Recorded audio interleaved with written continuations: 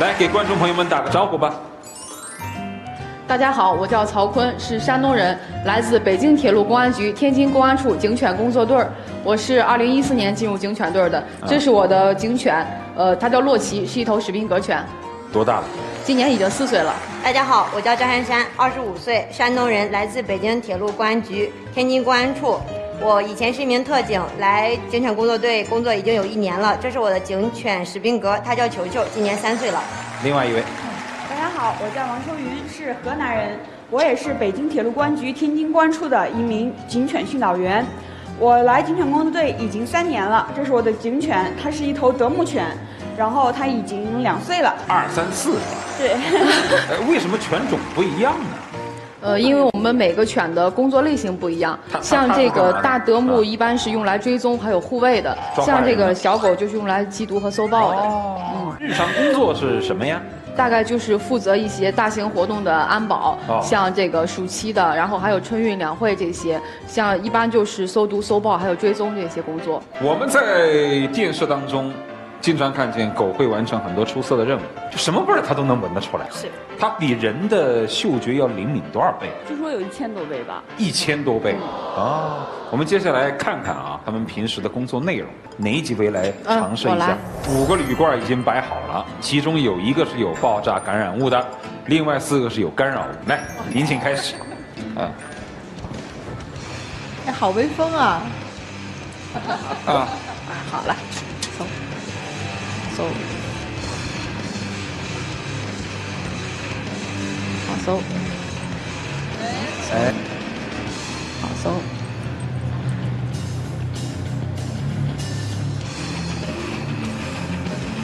好，这个我的警犬在这个罐儿之前示警了，说明这个罐儿里边有呃爆炸物的感染物。打开看看呗。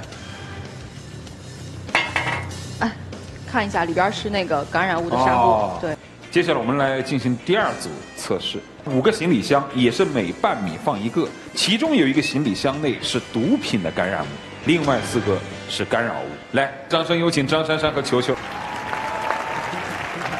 我先给大家来介绍一下我们为什么会进行箱包训练。因为在我们日常的工作中，面对实战会有各种各样的行李，这是我们其中的一种。而且在平时的训练中，我们也是有多种的训练模式，像地面的搜索，还有汽车的搜索。我稍微问一下，嗯，感染物就是沾染了那个气味的，对，比如说爆炸物，我们平时直接上爆炸物会有一些不方便，所以我们就会把纱布和爆炸物放到一起，然后经过一段时间的感染之后，然后我们称它为感染物。像你们这样的女生是肯定不能撒香水的吧？对，我们是也不能用化妆品的吧？更不能吃大蒜的吧？是不是？是的是的生活好枯燥啊！你还真是为工作奉献了不少。嗯来，你开始吧。来送。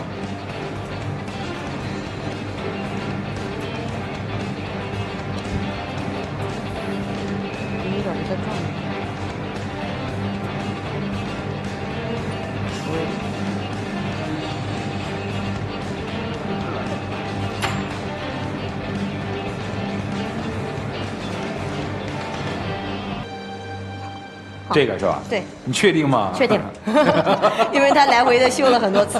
来来，我们打开看一下。我。们先来看这个行李箱，啊，纱布。也是沾染了那个毒品的感染物。对。接下来我们有请王秋云和舒克来完成一些复杂的互动动作。好，好搞，好搞，好搞，好搞，好搞，好搞，好搞，好狗，卧卧，好狗，立，好，好狗，舒克坐，叫，叫，好狗叫，好狗。就是你们出去工作的时候，有没有什么难忘的经历？呃，就是之前我们在北戴河执勤的时候，就是中午头还是特别热的。我们有时候安保任务就会赶在中午头的时候，把地面都晒得特别热。我们人就穿着鞋的时候感觉不到，有时候。然后有一天我就带他在外边就是散放，就是带他走，他就突然就不愿意走了，就站在那不动。然后我就看他的后脚，就是一直要两个脚不停的来回的替换，就抬起来。然后我才反应过来，可能就把他的脚垫就有点烫伤了那样的。有时候气候比较潮湿嘛，然后我们的犬就会得皮肤病。它的皮肤病最严重的时候，就是背上整个的毛都开始往下掉，就是一揪就一片掉往下掉，反正就是精神头也不太好。最后没办法，就带它去医院去看病去了。然后去医院看病的时候，医生就开始摁它的腹部，然后一摁的时候，它就就疼，然后就叫。然后最后没办法，就只能去给它拍那个 X 光片儿。其实狗是非常胆小的，它没有见过那样的场景，然后它就不停地挣扎，不停地挣扎。最后没有办法，就是我们人也跟着进去，然后穿上那个防辐射服，然后就是两个人把他摁住，然后开始拍那个 X 光。最后发现他的肠子里边就是有一个就是小草球一样的东西给堵住了，所以也没法吃东西，就是生生的饿了几天，然后先用药物把那个异物排出之后才开始吃东西的。王秋云，就是我们在南京训练的时候，呃，冬天特别特别冷，然后一一拉练一出去就是从早上八点可能到下午两点钟我们才能回去，在外面一待就是大半天。那个南京的冷跟北方的冷不一样的在于它是湿冷，一点点的沁入到你的皮肤里边。那个时候我们特别冷的时候就会跟犬抱在一起一起睡觉，躺在草地上，然后真的就是头挨头紧紧的搂在一起，然后那种感觉就是。我们是相依为命的，连为一体的。我就想不出你们女人跟狗怎么能融洽在一起呢？训练的有一个关非常关键的阶段就是亲和。嗯，这个阶段我们基本上是人不离犬，犬不离人的。嗯，每天都至少在一起的话是要至少十小时。就我们家人可以不见，啊但是一定要见狗。所以工作也挺辛苦。像我带我这个犬的话，因为从很小就开始带嘛，每天早上我们一天要四次集合，早上六点集合一次，到最晚的时候夜晚是九点多再集合一次，然后嗯，每天至少要拉练七公里，最多的时候一天可能一起拉练二十多公里。他他当时训练的时候，大部分也都是公犬，对他来说是一个，他又小，哦个子又小，为什么叫舒克？我的狗叫舒克。哦一开始我接到它的时候，长得特别像一只小老鼠。哦就这么大，脸也尖，身子也瘦，然后就慢慢带着它一起长大，然后每天在一起生活，一起拉练，一起跑步，就是不是不是亲人胜似亲人的感觉。我听说你们三个人当中有一个是传媒大学毕业的，哦，我，是你是吧？对对对，你怎么干上这个呢？机缘巧合嘛，然后毕业时候找工作考公务员，考上了，考上之后，本来概念当中觉得自己可能会成为一个文职，警员的文职，没有想到哦，服从分配的时候就来到了犬队儿。刚来的时候有点点迷茫嘛，不知道为什么就做了这样一份工作了，内心也是挺踟蹰的。然后跟犬在一起，内心低落的时候，它一直陪着你；然后高兴的时候，它也陪着你。在这个过程当中，自己感觉特别治愈，被需要，然后被信任。培训的时候，你要喂它，给它洗澡，甚至你像它如果是天特别冷了，你要给它加稻草、铺稻草，保暖嘛。然后每天要清犬舍，就像照顾一个孩子一样。如果它没有了你，它就没有办法生存下去。有一种母爱泛滥的感觉。就是我们训犬有一句行话叫做“人犬合一”。嗯，嗯，你们在日常工作当中发现，哎，它跟你的行为动作一颦一笑都是很相似的。然后我们当时有一个特别搞笑的，说是有一个训导员，他可能走路有点外八，啊然后后来他的他的犬也是这样走路外八着着走，就都是这样的，挺神奇的。慢慢的在这个工作当中找到自己的价值，慢慢有认同感了。有枯燥的时候，有，他毕竟不会说话嘛，对。他毕竟不会像男人一样会甜言蜜语嘛。你会觉得枯燥吗？呃，也会有，像刚开始的时候，就是我这个犬，就是它属于性格比较偏执、比较任性的哎，。你看它就一直对对，一直盯着我。啊然后刚开始我接手它的时候，它是特别不喜欢让别人去摸它。啊，然后我要跟它搞亲和的时候，就其实也是挺挺无奈的。嗯因为它就是也不喜欢别人摸它，然后也不会像别的小狗一样过来哎亲亲你，哎你都不会，然后看到你就躲一边去。就是所有的在一起培训的人，我是最惨的一个了。啊，最没有存在感。对，然后就是就是很枯燥的，就是不停的要跟他说话，不停的跟他交流。其实他什么可能也听不懂你在说什么，但是慢慢的你就会觉得他能听得懂你在说什么。慢慢的他也开始让我去去摸它呀，去碰它了，就好一点了。他们平时会患病吗？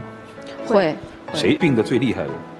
他有过一次，啊。就是之前我有一次带他安保的时候，啊。然后可能因为水土不服嘛，因为当时是去北京，然后他就开始便血。不吃不喝，然后刚开始的时候上午还是好好的，结果下午去犬舍看他的时候就，嗯，吐了整整的一个犬舍，嗯，然后，嗯、当时兽医就给我保证说说那个，我让你，因为那时候安保马上结束了，他说我让你回去的时候，这个狗，就是说。保你不死，就是说的很残忍了，因为那个时候他就一直不吃，那呃兽医兽医最后没有办法，就给他见药就吃，见针就扎嘛，就点滴一天就必须两个小时的打。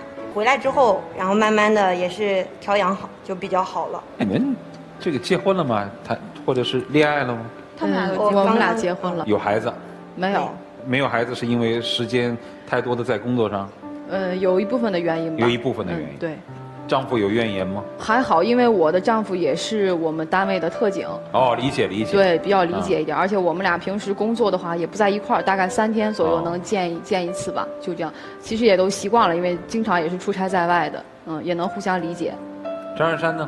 嗯，我是去年十二月份刚结的婚。哦，嗯，我的丈夫也是一名警察，嗯，但我是双城生活，他在北京，然后我在天津，我每天就这样来回跑，这也不算双城，很近，不近。不就半个小时吗？高铁啊。不不不，啊但是路上的路程要将近三个小时。丈夫会吃狗的醋吗？我曾经给他写过一篇情书，但是没有给我对象写过。你给狗写过情书？对说来听听。我们平平时的生活嘛，嗯伴在我左边的也是你，嗯，然后每天陪伴我的也是你，然后是他代替了我丈夫的位置，站在我的左边。然后他听完之后就很无奈嘛。但是我觉得有的时候真的一个人的工作对他的感情是有影响。就是反正我可能也是比较闲云野鹤的性格吧，就是喂犬、养猫，然后周游全国，这是我的人生的愿景。你将来可能会找一个跟你一样喜欢猫狗的。嗯，也许吧。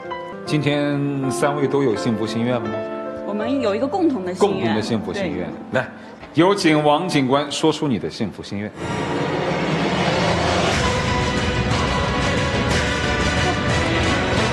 我的幸福心愿是，就是帮助有犬的人士以良好的方式教育自己的爱犬。为什么会有这样的一个幸福心愿？就是在日常生活当中，我们在小区里也能看得到，有时候在网络上也能看得到，有一些爱有犬的人呢，对对待自己的宠物，经常会以一些错误的方式来比如对待。比如这犬做错了，它在家里大小便了，然后它可能不问青红皂皂白就上去给它一顿打，然后这种是。完全不可取的。日常训练当中，就是要及时制止它的错误，最好可以用您自己的方法，比如说不要做，不可以去制止它。最好就从最先开始的时候就培养它一个良好的生活习惯。也希望有犬的人能够，也在日常生活中给它当做家人一样，用好的方式去教育它。来，你们刚才听了三位警官的工作，你们有什么感受？我希望你们多上节目，是因为呃，我让大众知道，我们的幸福生活并不是凭空得来的，是正是由于我们这些辛苦的干警，我们的警犬，呃。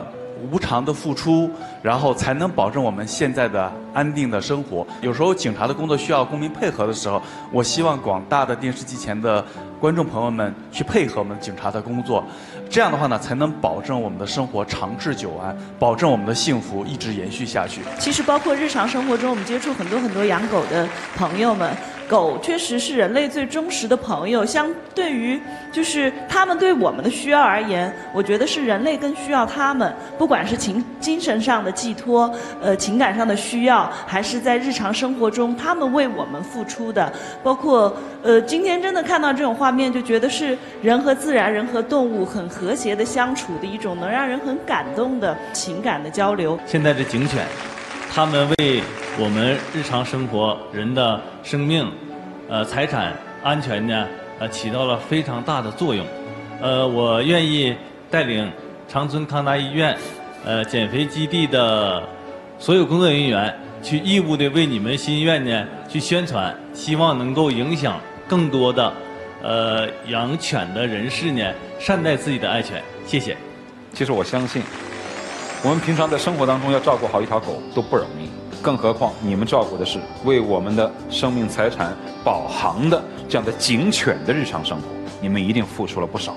再次感谢你们来到节目当中，谢谢。